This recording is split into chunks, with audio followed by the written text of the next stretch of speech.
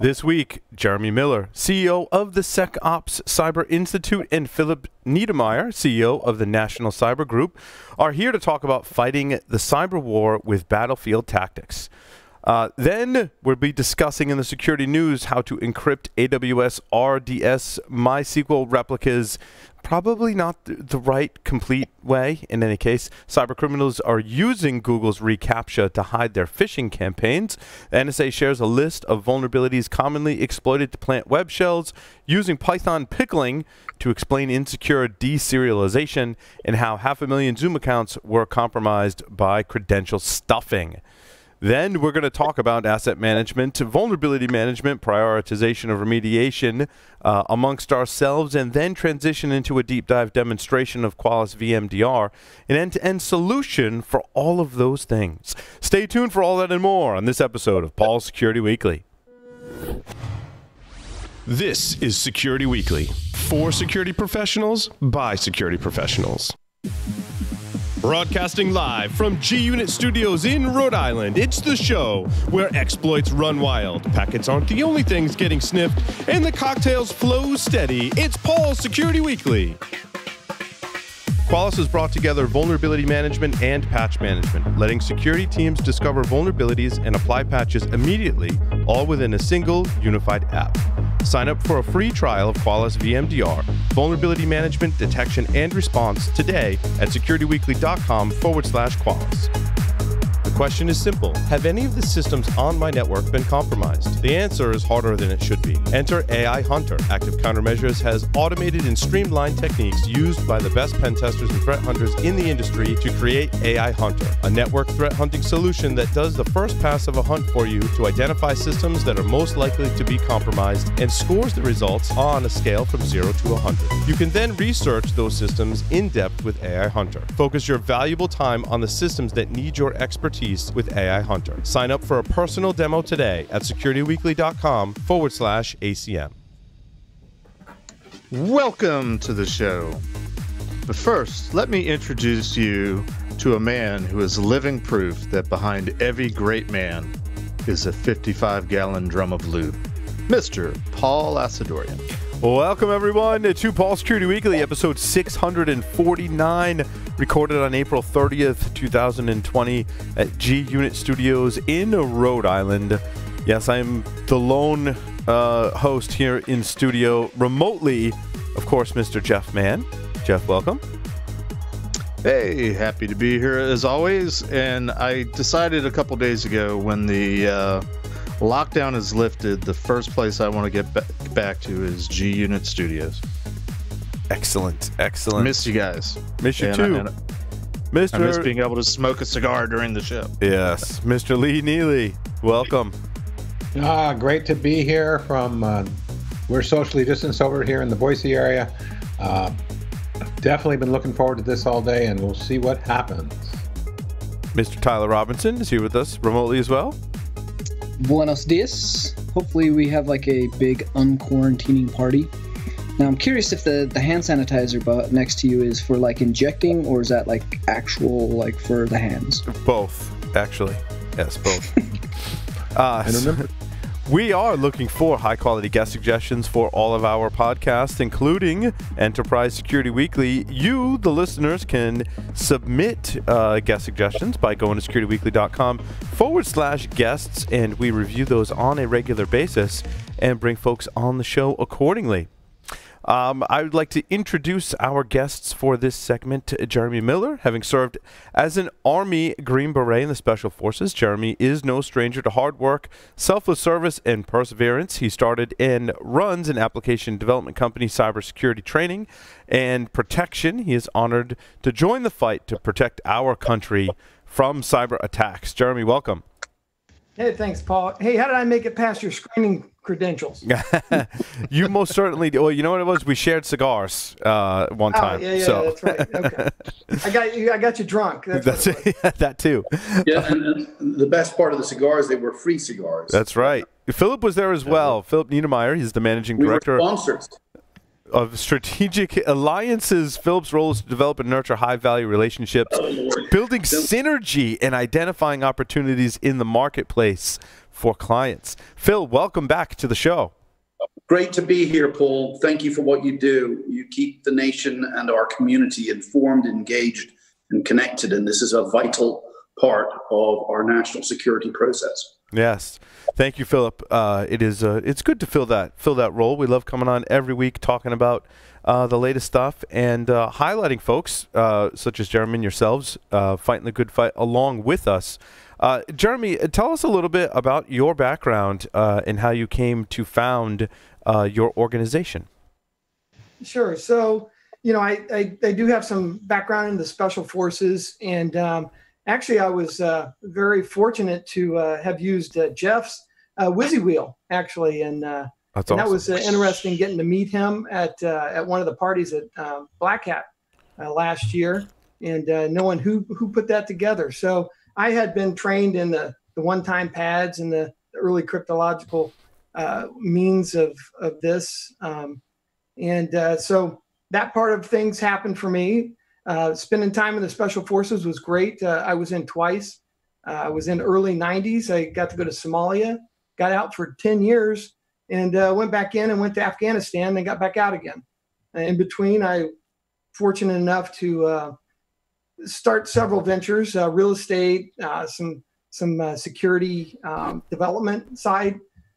we do some web applications in the real estate space, and um, a friend of mine asked me, he says, Hey, I want to start training people in the cybersecurity space. And I'm like, uh, hmm, well, yeah, only if we can do this at scale. I don't want to just train a couple people. How are we really going to make a difference? And um, so that's what it's been all about for me is how, how can I come in and help with what knowledge I have and, um, and add to the fight? Yeah, Jeremy, I, in, you know, our, our audience kind of, you know, varies of course, but I think in, outside of our audience, perhaps the general public, when you say like I was in the special forces or you talk about special forces, I think they conjure images of folks in battle, which is not, you know, of course, inaccurate, right? But they they picture a soldier engaging in combat. But a huge part of a lot of the armed forces and uh, the special forces branches is not so much combat, but actually forming relationships and gathering uh, intelligence uh, and things of that nature. So, uh, could you explain kind of that that aspect of it because it very much ties into your your mission today? Yeah, sure. So, yeah, I, as far as the special forces goes, they're typically um, uh, older soldiers, uh, more mature soldiers. Uh, their critical thinking skills are a little bit better than most. Um, I would venture to say that they are better than most, just because I know who I've been around, and I've I've been fortunate to uh, stand on the shoulders of giants in that field. Uh, there are plenty of people that are better than me, um, but as a team, we all come together and uh, and do that. And intelligence gathering is one. And and one of the other things that we that we did, one of the other missions was um, it's um, it's winning the hearts and minds as you talk about. And and sometimes we go in and we uh, develop the local soldiers to be able to fight. And um, I'll give you an example. Like in Afghanistan, um, you know, we would go out and assess the village and and say, well, how can we help you support, um, protect yourself better, and and fight? Uh, typically, the any of the coalition forces wouldn't have been able to make it there in time, and they would probably all die before we did. Um, so they had to have some level of uh, protection, and so that particular concept is what leads me into what our next phase of SecOps Cyber Institute is, which is um, called Lionfish Cybersecurity, where we actually are going to be a force multiplier, is what it's called. Um, and do by there's a there's a saying called by with and through uh, your partner force. So we want to take these small to mid-sized companies that cannot get uh, traditional help uh, because of uh, some things we'll go into in a little bit later, but and um, help them to do some self-aid uh, to have a, a, basic knowledge, to get to a level so that they're not the low hanging hanging fruit for the script kiddies and and all the the low the lower level um, attackers and make them a harder target. Mm-hmm. I, I, can't help but be reminded of uh, one of my favorite films of all time, The Seven Samurai. Right, it's very much a similar story, right? Your army. When you said that, you know, the local villages, right, it kind of conjured up uh, those images, and, and, that's you know a, an extremely useful skill as applied to cybersecurity. You know, many of us have done similar kinds of things, taking people who uh, are not necessarily exposed to all of the technology and things in cybersecurity and bringing them up to speed so they can uh, defend their networks. But you want to do that at, at, at, scale. So, what were some of the motivating factors behind you know forming this organization, and uh, how do you plan to do it at scale? Yeah. So I, I mean, just saving one person or one company does not really solve the problem. Um, if we we're all in this together, um, you know, as as I understand it, I mean, you could hack somebody, they could move up to the next company. Um, you know, I reminds me of a, a, meme. I've become quite a meme person now, and mm-hmm. I, it reminds me of the meme where the boat's sinking in the front, and the people in the front are like bailing out water, and the people in the back are way up, and they're saying, "Well, it's a good thing we don't have a hole on our side." Mm-hmm. I mean, well, come on, we're all going to fail if we don't all succeed. So we all need to come together and make this make it happen. And I know uh, one of Jeff's uh, sayings is, um, you know, we're going to be more secure. You know, what does that mean?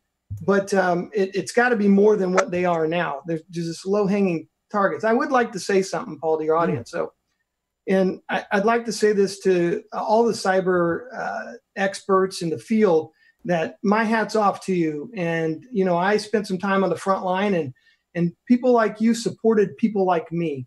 And it's my turn to support you and your fight to help stand beside you and help guide things that I can I can help guide uh, to help us all be more successful.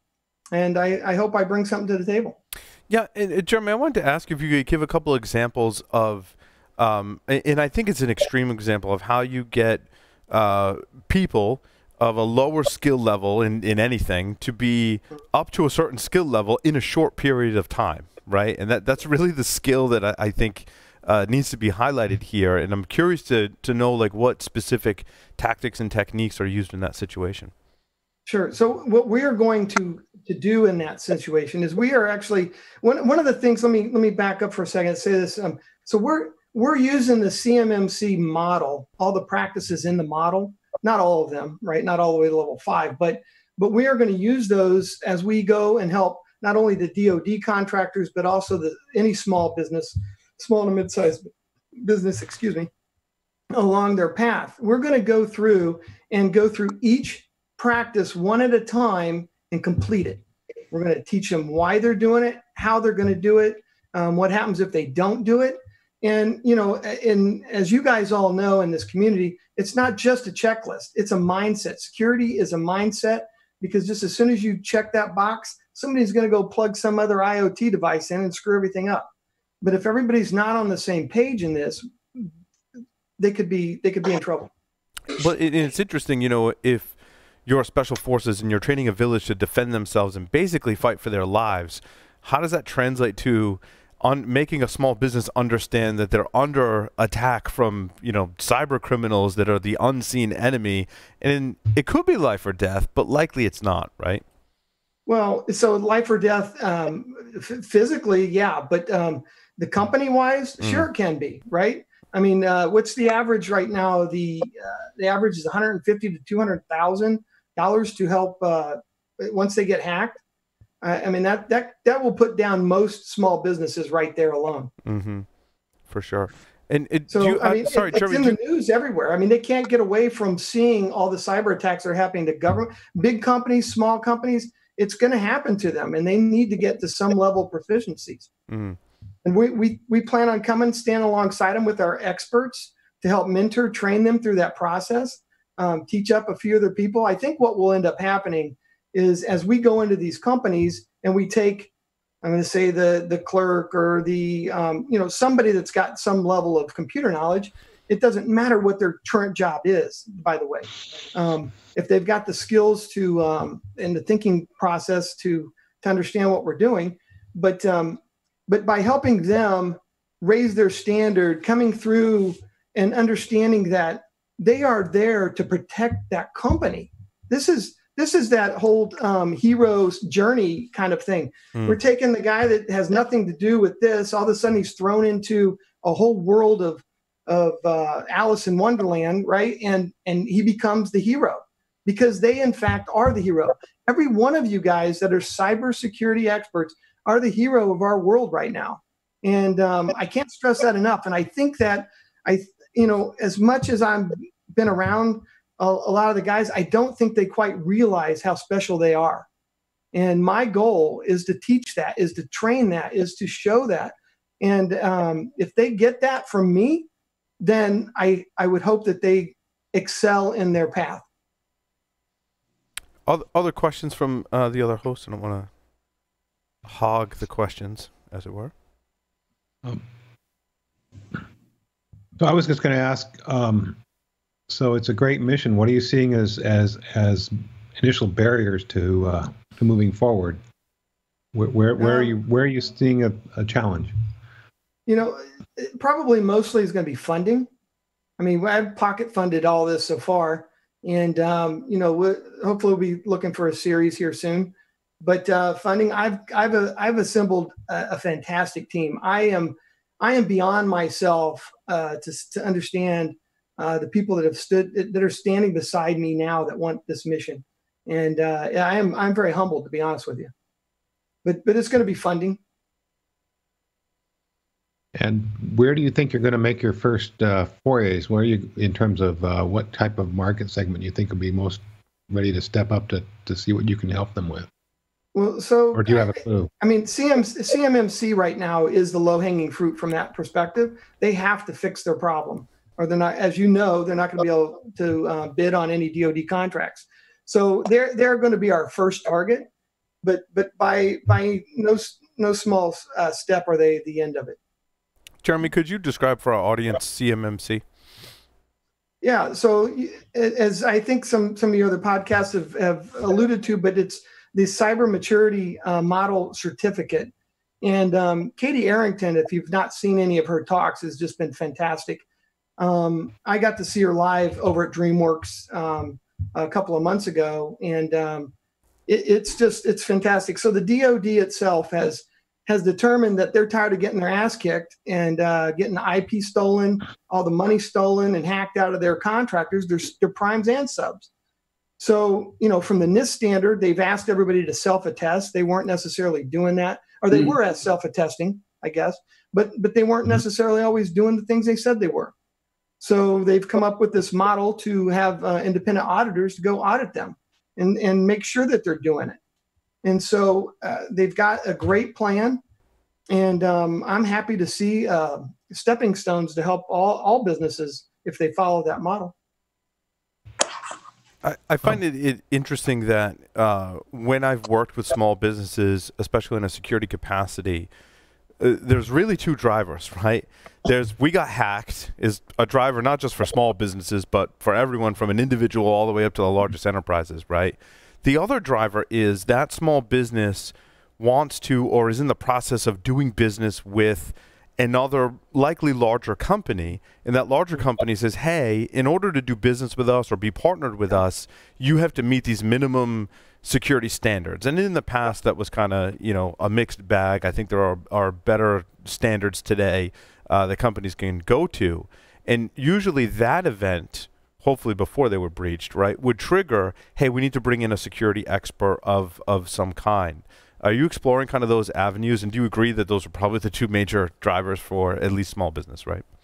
Yeah, good good point on that. Yeah, that's true. I mean, uh, soon I think every company is going to have to do that, or nobody's going to want to do business with them. Mm-hmm. You know, you've got a select few that that want to push that blame down. So why not make them have their uh, their security tight? Uh, how do you? Oh, go ahead, Tyler. I was going to say, how do how do you see that um, kind of coming to fruition? It's something that we've we've all kind of said in, in one way or another on the show. Like as consumers, how do we push companies and and not purchase company you know product that are not doing good security as a big company to company or business to business relationships? How do we ensure that our partners and uh, other companies that we're utilizing, maybe it's a contractor, how do we ensure that they're doing better security? Because at the end of the day, from a consumer standpoint, we have very little control over large corporations and monetary decisions that, that they do. Because at the end of the day, it's all about money, right? So how do we start to enforce this a little bit better to where you're having kind of the same idea that we are, having that kind of standardized security, if you're not going to have a good security platform, you're not going to at least adhere to some kind of a standard, uh, then people aren't going to do business with you because they don't see that. That's not the general consensus and not the general public today. Yeah, I, I, mean that's a complex question, but um, I think eventually the government may uh, make everybody. It's like having insurance, right? It's this is the the insurance policy that the company you're working with is following certain guidelines and certain standards. Um, we we want to give all the businesses that go through all the steps of CMMC, whether they're audited or not, give them a certificate saying, "Hey, we've actually done these steps." So they may be more um, more uh, marketable to their vendors and to their uh, to their buyers and suppliers uh, because they are following a standard that, that they need to do. Uh, on that point, uh, Philip, I want to ask you a, a, question in that if you're a small business, often the barrier to implementing additional security controls, those controls come at a cost. Are there federal programs here in the U.S. that if I'm a small business, I want to go get the CMMC certification, for example, are there programs where there's a grant that I can apply for to say I want to do this and get some extra funding? Was that that was to you, yeah, for you, Philip. Yeah. So I'm not an expert in government funding by a long shot, but there are a variety of programs to support small businesses and whether you can uh, apply for them for the context of cybersecurity identity. Hmm. Interesting. Paul, I'll, I, I can Jeremy? address yeah. that um, for a second if you want. Yeah, sorry, I was trying to get Philip was quiet, so I was also trying to get Philip. Yeah, no, no, no. I, I just uh, I knew that Philip probably didn't didn't have that answer, but um, so in Indiana, where I'm at, they came up with a program which was brilliant. Um, it was um, for um, it's called Next Level Jobs. They took federal funding and they they applied some of that towards education of the workforce to help everybody uh, increase their their salary, increase their knowledge, and all this. We we started down this path to leverage that until um, till this virus happened, but um, where we could actually go in and they will pay us to come train their people. Mm. We are wrapping the, the way we're going to go in here is not just saying, hey, we're going to train, hey, we're going to do a security management program, hey, we're going to mentor. We're wrapping all that together. I'm trying to buy down all of the vendors and all of the all of my partners so that I can come in with an affordable package to plop in and help these guys. So I was able to figure out, well, we'll just take the training dollars and we won't just take the training dollars and run away. We're going to take the training dollars and give them a 12 month product that now they can be secure. So now these companies got the, would get the grant and um, not have to pay as much money out of their pocket. Mm. Now they don't have this kind of thing all over the country. I wish they would. I would hope that if I can prove this concept works, we would be able to get some federal funding and be able to do this for everybody and they wouldn't have to worry about paying uh, too much out of their pocket because you know SMBs don't have that much money. I am particularly concerned, or uh, at least would like to segue, uh, and, and, Jeff, this somewhat is for you as well, uh, into the retail space, as a lot of small businesses are uh, retail establishments where they're accepting payment from you know people in the stores, and I've seen like hundreds of different point of sale systems with all kinds of different technology and oftentimes there's fairly significant vulnerabilities uh, in said technology. Uh, you know, mm. especially when it sits on the table when you're at a restaurant and there's a tablet. I mean, me as a hacker, I just can't help but like you know Google the model number and just probe it. Tyler's laughing because he's done the same thing, right? like, can I get into the admin console on here? But the it runs the gamut of. Uh, of security vulnerabilities. Now, Jeff, there, are there things in PCI that help retailers out specifically with evaluating point of sale systems and putting security as a component? Uh, and then a general question like, what do we do to help the overall security aspect of these point of sale systems? Well, uh, it's a long, complicated answer, and the answer is yes and no. Yes, if you're a retailer that's big enough mm-hmm. that you are going under the scrutiny of a level one uh, PCI assessment and you have a QSA, a third party coming in and assessing you. That's what I used to do. Mm-hmm. Unfortunately, that's about 1% of the company, and I'm being generous at saying 1% yeah. of the companies that are out there that are subject to PCI. The everybody else, the small, medium sized businesses, mom and pop shops uh, that are, you know, you're mentioning restaurants. I can't tell you how many times I've been at bars and restaurants uh, during, before, after hacker security conferences where there's point of sale parties going on. Not naming names, but it's pretty common. But th- the problem with those organizations is because they don't have somebody coming in as a third party saying, hey, this is what the security rules are that you need to follow. Uh, they largely are at the at the mercy of vendors that come in and say, "Hey, use our stuff and and you'll be fine for PCI, so you don't have to worry about it, don't have to think about it. PCI compliance made easy, the burden mm-hmm. of PCI is taken away, and while there's uh, some companies that do that in a responsible manner, and I'll, I'll cite Square as an example. Okay, um, yeah, that's where I was going. Sure. Square uh, plays by the rules, and and they but they take on the liability of all the merchants that use the the square. They they say we're a service provider we're a payment processor and we're we're a, we're going to we're going to vouch for all of our merchant customers use our stuff. So it's really on them to provide whatever security and encryption mm-hmm. goes into the Square product, notwithstanding what it's being plugged into and whatnot. But if any of their little small customers that use it at a you know a flea market or selling T-shirts at a hacker conference, uh, Square's gonna Square's gonna foot the bill for any any loss uh, of any credit card data due, due to a breach uh, mm-hmm. uh, of Square itself. But that's Square. There's tons of other yeah vendors out there that uh, let's just say mileage varies mm. and and and and and the and the road is wide. Jeremy, have and you uh, sorry, have you considered the, the kind of retail point of sale aspect to uh, to training and making recommendations. Maybe not for specific vendors, although I, it's clear that I, I agree with Jeff on on the Square front uh, as well. Um, but you know, making recommendations, but uh, on how to evaluate these point of sale systems, which are often sometimes the reason why small businesses are attacked. So. Uh, yes and no. Right now, our focus is the CMMC portion of it and I realize that there are certain things that go into the uh, point of sale side, um, and some of that will be addressed um, with that. But there are other Jeff, correct me if I'm wrong, but aren't there other additional uh, requirements that are needed for the point of sale side, uh, other than the again, CMMC? Well, CMMC is not technically required for a, a, a, typical retailer, but I would say that the requirements found in CMMC, and you, uh, as a quick pitch or plug, uh, I think we talked about CMMC on Security and Compliance Weekly, hmm. episode mm. 23, I think it was. Johnny, the voice in my ear, correct me if I'm wrong.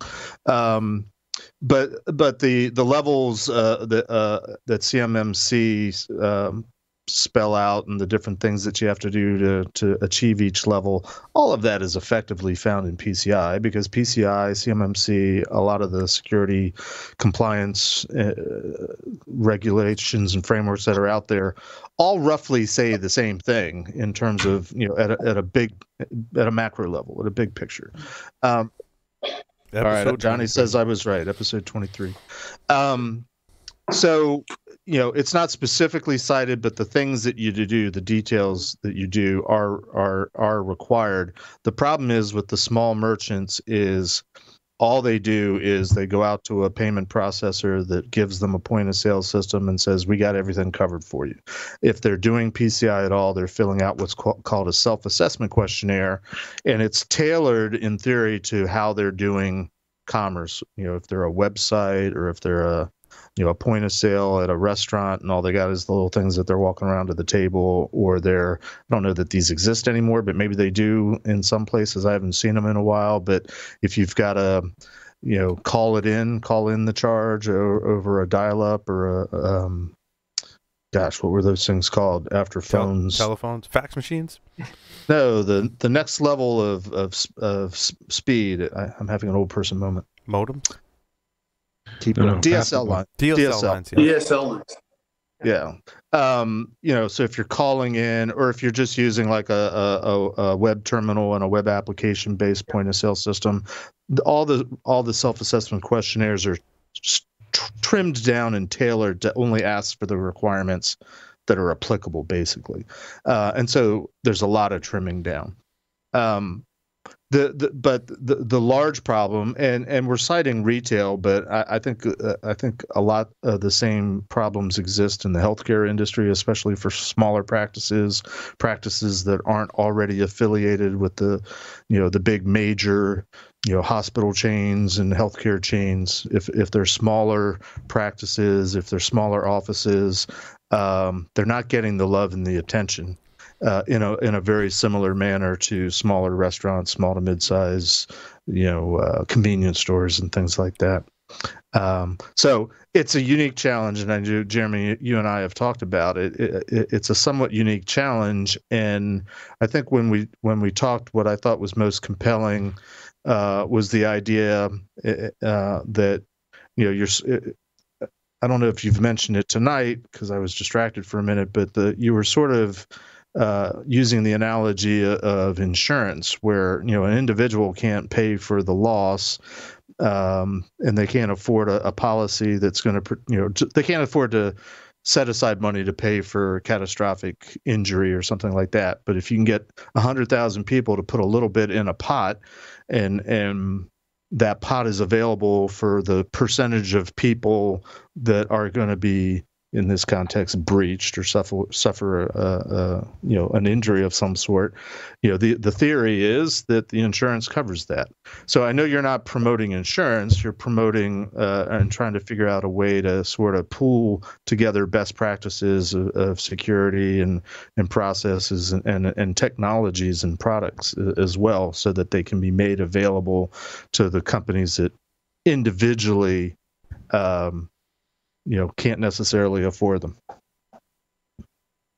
So, so Paul, from a strategic factor, and, and really when we look at it, we've got to consider this as part of the big picture.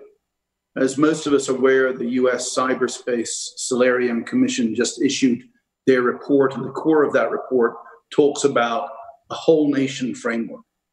And really, if you look down to the, the root of the matter, Jeremy's platform fits specifically into what Mark Montgomery and the team and the commissioners of the cyberspace, Solarium Cyberspace Commission, have determined critical pathway for our safety. We have to engage at all levels. Core of it has to be an education platform, which you know I'm working on, mm-hmm. and, and you had me on the show talk about it before. Why I'm here tonight was to help Jeremy a little because we met in Las Vegas, I think. Was it Las Vegas? Um, in a coffee line mm-hmm. at a cybersecurity um, event.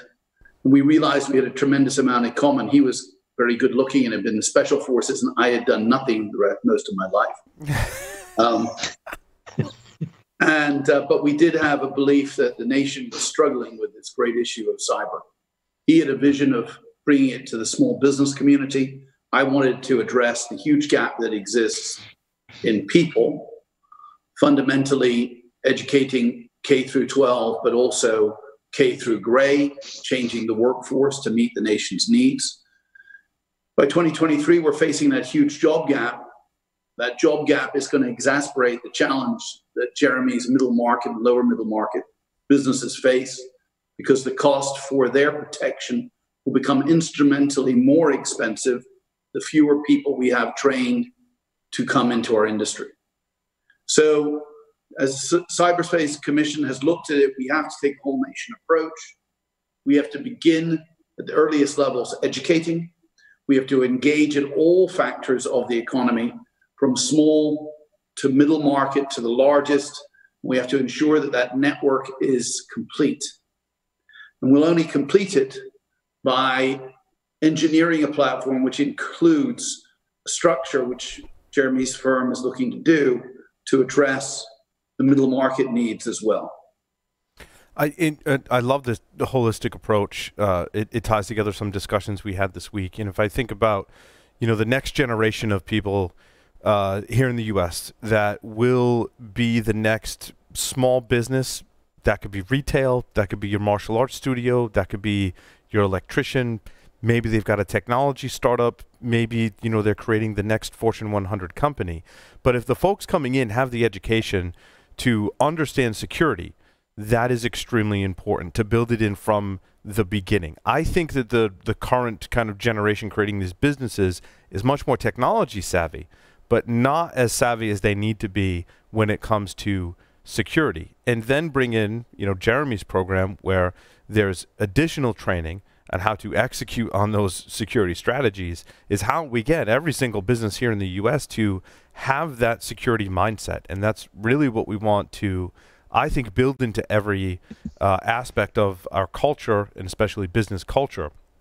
When Reams came on Enterprise Security Weekly, we are talking about having the you know the security champion uh, in each of the groups in our organization, and he said, "I don't want to have people." He's like, "It's great to have people that are security champions, but he said, I want, and this was very prolific.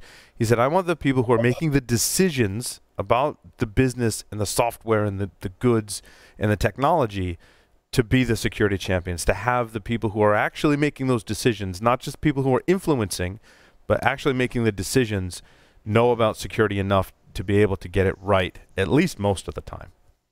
How? Yeah. Hey, and Paul, on that, when we go in, what, our goal is not not just to train them and and do an OJT, but also to immediately secure as best we can that company.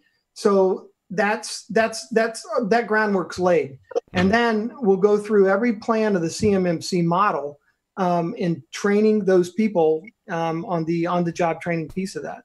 And the, uh, mentor them through uh, the process. It's an apprenticeship without them being at a cybersecurity company with a with an expert next to them yeah it's it's our experts mentoring them through protecting that company i, I agree and jeremy I think, there has to be a tactical component to it as well because it, it all sounds great in theory and understanding, right? Uh, Tyler yeah. and then Jeff. Oh, yeah, I, I kind of had two questions. So, as part of some of this training, uh, one of the things that we've kind of identified as a good means to get people on board with security is to make it applicable to them personally. Is mm-hmm. part of the training being applied uh, able to be related to them personally and utilized from like a personal standpoint? And then, kind of the second part to that with a lot of the younger generation starting to come up in the market and the work the workforce uh, and a lot of these you know technology savvy kids have been used to or have grown up where security is not really a thing like want my instagram out there i want my facebook out there i want people to see me uh, a EULA, i don't know what that is you know check the box privacy has become less of a kind of less of a concern to hey, I think hey, some hey, of Tyler, the younger generation. You're, you're kind of dated. It's Instagram and it's TikTok now. You're right. My bad. That was TikTok. so how do we, how do we get these how do we get these students or these up and coming people that are going to be making the decisions kind of the next generation of decision makers how do we start to get their mindset shifting? Because I, I, feel like there's a gap there between like the older generation that doesn't like security doesn't like computers and technology then you got that kind of middle ground and then you got the people that just don't care about privacy and it's all technology. Like just make it all do all the things. So there's kind of a, a, a gap there that you're going to have to fill in with, right? Well, I so from from my perspective, it's all about the their them, their families, the companies, and this country. And uh, our goal is to give them that awareness and that training. And you know, I mean, I, I hope we don't have a bunch of people that are the mechanics that don't take care of their own car um, which is, I think, the analogy that, that you bring up in my mind when you say how are we going to um, have them address their own personal needs. But um, you know, the goal is that they know what to do. They can apply it at home. They can apply it with the rest of their family too. Yeah, and, and to Jeremy and, and Philip's point as well with the education piece, right? I'm going to give you a great example uh, about how I've educated my own family almost to a fault. Uh, 2.30 in the morning, our smoke detector goes off. Now we have a Nest Protect smoke detector, right? It's connected to the network, the whole thing. And it's going off in the middle of the night saying there's fire when there, there was no fire, thankfully. Uh, but everyone reacted. Now, my family's first reaction was, Dad, I think we're hacked. Someone hacked into our network wow. and has influenced our systems and they're like going through their devices at 2.30 in the morning doing full-blown incident response because dad has always told us like this was going to happen and this is the moment where we've been hacked it's just like that scene from mr robot where they take over the house i was so proud it, but that's the kind of mindset I feel like we need to build into the education and in, Wow. in business in business culture. As long as they're trained to respond if there's actually smoke in the house. oh, absolutely, they are. and, Yes. and they're not troubleshooting as Let, they're let me getting tell smoke. you, there's smoke in our house. Sorry, that, that, there is smoke in our house, and smoke, we need to do something about it. There's smoke in our nation, and you know, if we look at the, this hideous COVID crisis, what the Chinese were able to do with a biocrime, in essence, which is what this is, think what they're going to be able to do in five years when they have fully developed their cyber warrior program, and we are still unprepared. It's very true. It it scares me. I'm reading uh, Countdown to Zero Day by Kim Zetter. Finally getting uh, to that book, and you know that book in Stuxnet, of course, is several years old now. What scares me the most is is where we're at today, because we're not talking about like, oh, this was the next Stuxnet. Why aren't we talking about that? It's flying under the radar is my fear, right? Uh, you know, kind of to your point, Phil. That there's there's smoke in our house, but our smoke detectors aren't aren't detecting it, or we're at a st- uh, in an arms race standstill uh, in, at some level in certain aspects. So I the have smoke several. detectors are detecting it. I mean, people are uh, uh, the news is all over the place. We're getting hacked everywhere. It's like it's uh, hack overwhelm. I think it's just uh, this happens to people. Yeah, it's not as much We're of a news story. numb to it, and it's not right. Jeff, Mm. So I, I had a couple thoughts, uh, and uh, somewhere in the middle is a is a question or two. But uh, I, I think the the big problem that we have as a society that I, I have uh, you know that I tackled when I came out of the mil- uh, not the, out of the government, out of the DoD almost 25 years ago, and uh, don't think collectively my generation has done a particularly good job for for whatever reason. Um, and and the thing that we're struggling with today is sort of the um, the dichotomy, if that's the right word, that, that exists between cyber war and and sort of you know nation states going after nation states and the mission of the DoD and the things that we that have that background are familiar with versus the private sector and just you know conducting commerce. And and what I've encountered mostly over the last couple decades out in the private sector are people that think that the you know cyber war cybersecurity dod level security is something for you know that's for the government but that's not really for us because all we do is and I, I think it was the home depot ceo that that put it in was published as saying what i what i've heard many times why should we care about security? We just sell hammers. Um, so um, there, there's this there's a difference in mission there's a difference in budget there's a difference in mentality there's a difference in culture and mindset of security. So my question is and, and maybe it's uh, not as much of a question as an idea suggestion is maybe the the training needs to not not just be the educating people on why they need to do security and have more of a security mindset versus simply drop in the right kind of technology and forget about it because it's all taken care of. Maybe part of the training is if if nothing else trying to make the the private sector more of an informed consumer. Uh, you know, the re- the restaurant that's um, being approached by two or three different payment processors offering a couple different point of sale systems and they're looking at well which one's the cheapest? This one's three cents on the dollar. This is five cents on the dollar. This one's four cents on the dollar. And that's all they're looking at. Maybe they need to be looking at well what are what are some of the security controls? What, you know do, do they encrypt or don't they and where and how are keys injected? What else should we worry about? What are you know that's one example but what i'm saying is maybe part of the training is not to make them security professionals but just to make them a smarter consumer of security Well, products One one hates to use the analogy, but one we have to. if we look at what the cost is of the COVID 19 crisis that the world is facing at the moment, mm-hmm. it could exceed $30 trillion. It's a real number. Yep. It might be more. And what would it, the cost have been if we had properly prepared for this crisis? Or what would the cost have been if we hadn't allowed the Chinese to have such an incredible impact on our supply chain?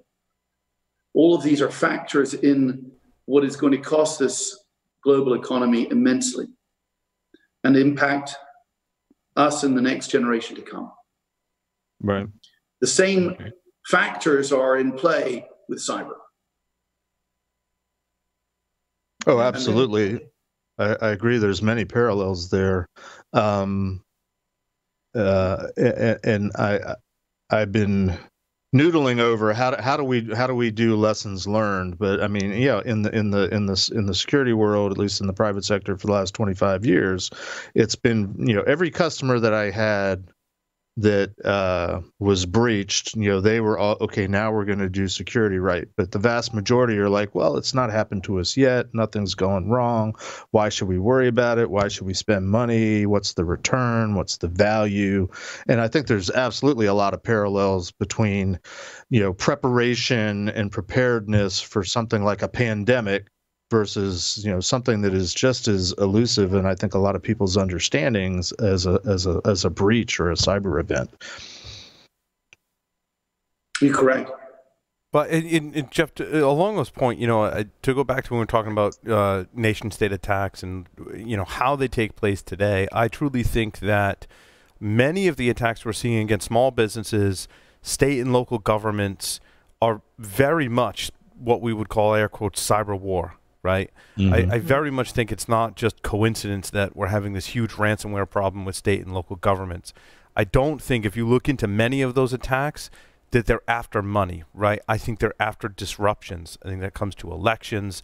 I think that ties into taking advantage of the COVID 19 situation with all of the scams and fraud that's happening now it, it is very much an, uh, uh, an attack against the nation, not so much the individual companies, which is, Jeremy, why I think your mission of helping small businesses is not just important for the survival of those businesses, but to help us defend the nation.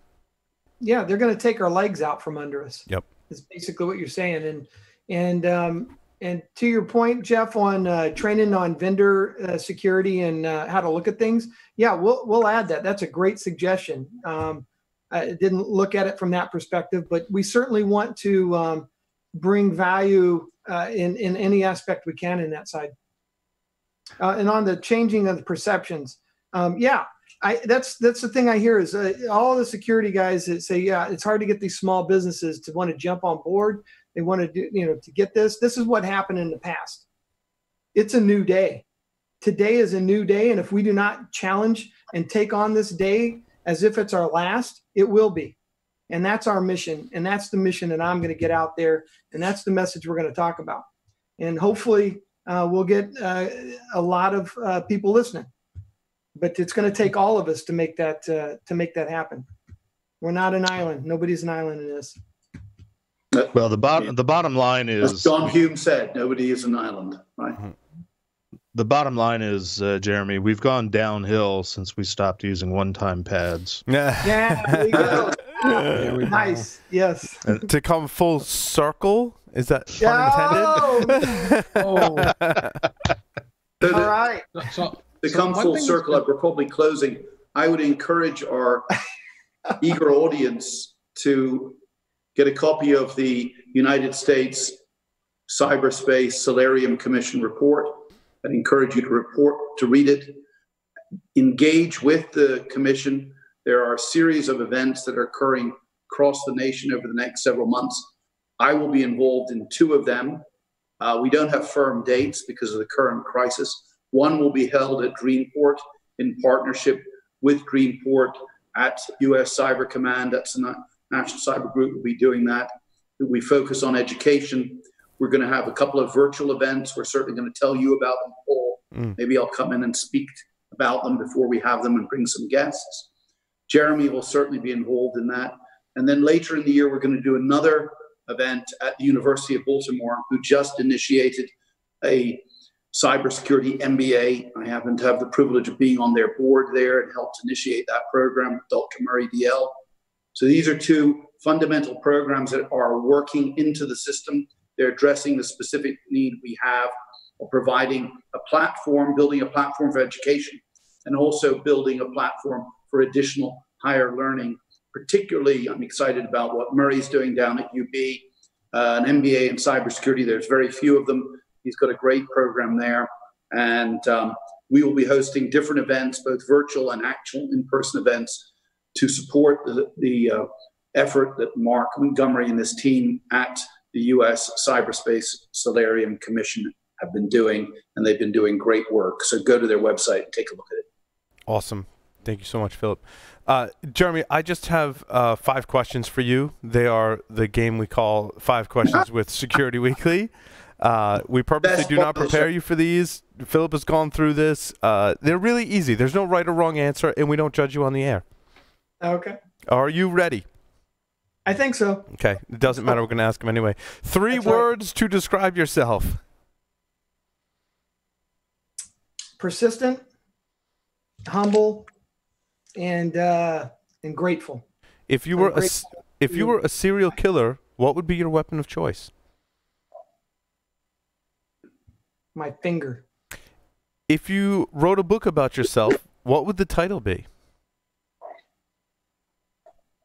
The unknown chapters. In the popular game of Ask Grabby Grabby, do you prefer to go first or second? Depends on how good looking she is. Choose two celebrities to be your parents. Alive, dead, fictional, or otherwise. Oh, nice. Um, you know, uh, Sylvester Stallone could be my dad, and um,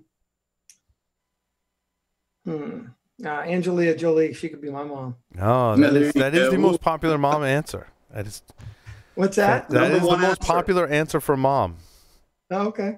I, I said uh, Charlton Heston and Doris Day. I think. Uh, yes, yeah. did. It's awesome.